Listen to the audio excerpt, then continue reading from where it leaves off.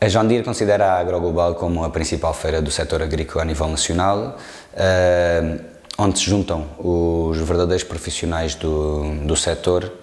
e onde temos a oportunidade de mostrar as nossas máquinas em campo. Este ano esperamos uma vez mais que a afluência seja muito grande uh, e ter a oportunidade de mostrar novos produtos uh, em campo, em trabalho e não só novas tecnologias,